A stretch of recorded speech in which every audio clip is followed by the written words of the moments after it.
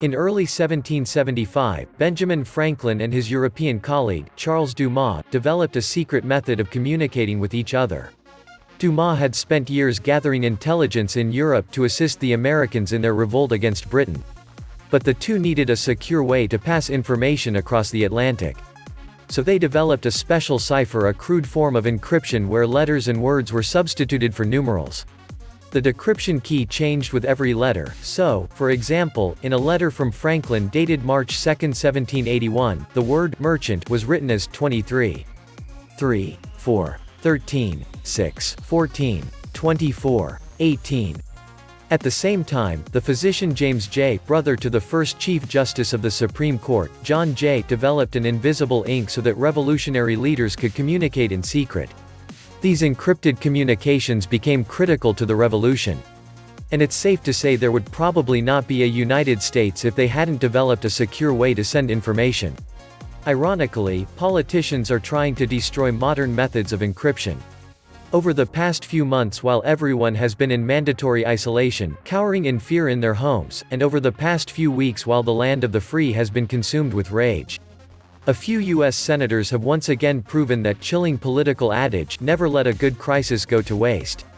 First things first, like all freedom-killing bills, this one has a catchy name. The Lawful Access to Encrypted Data Act is LEAD for short, as in, move over China.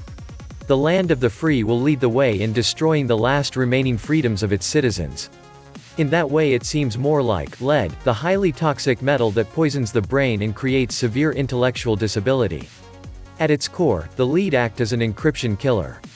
It aims to require technology companies to build backdoors into their products to ensure that the government can remotely access your data, your device, and your life.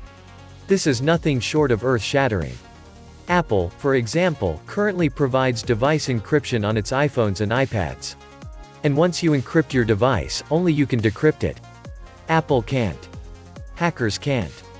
And the government can't so if your device is ever stolen or confiscated, your data cannot be compromised.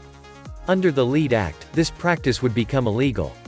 Apple would no longer be able to offer device encryption, and they'd have to provide a way for the federal government to remotely access your device, and all of its contents. The same goes for your favorite chat applications. WhatsApp, for example, is one of the most popular texting apps in the world. A few years ago, Facebook, which owns WhatsApp, began implementing end-to-end encryption for all WhatsApp data. This means that any message you send someone via WhatsApp is immediately encrypted the moment it leaves your phone. That messages arrives to the WhatsApp servers fully encrypted. So any hacker or Facebook engineer who intercepts the data will see nothing but a garbled mess. And the message isn't decrypted until it arrives to the intended recipient's device so the only people who can see the message in clear text are the two people participating in the conversation. No one else can eavesdrop or download the data. But again, under the LEAD Act, this too would become illegal, and Facebook will be obligated to build in a backdoor for the government to remotely access your conversations. LEAD also requires developers of operating systems, like Microsoft Windows and Apple's macOS, to provide backdoor access to your computer. It's extraordinary to think of how far-reaching the effects of this legislation will go. For example, do you use an online password manager like 1Password?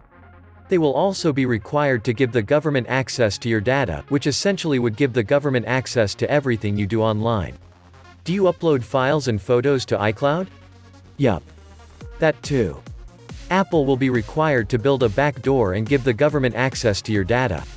Any zero-knowledge encryption, whether it's for storing files, sharing photos, texting friends, making video calls, sending encrypted emails, etc., will become illegal under this legislation. And to be crystal clear about what that means, cryptocurrency will effectively become illegal under the LEAD Act as well. That's right. Cryptocurrency relies on data encryption too.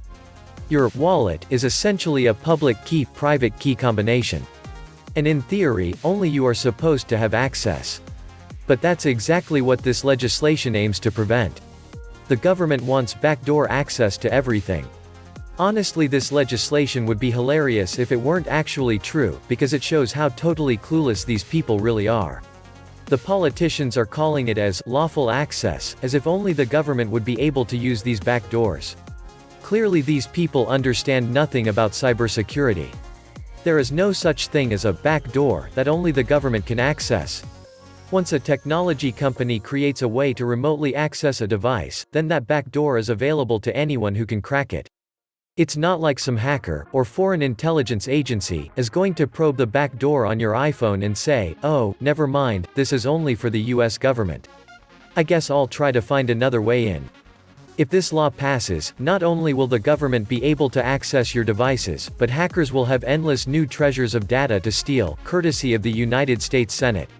It's genius. On another note, we think gold could double and silver could increase by up to five times in the next few years. This was the Atlantis Report. Please like, share, leave me a comment, subscribe. And please take some time to subscribe to my backup channels, I do upload videos there too. You'll find the links in the description box. You will also find a PayPal link if you want to make a donation. Thank you wholeheartedly to all those of you who have already donated. Stay safe and healthy friends.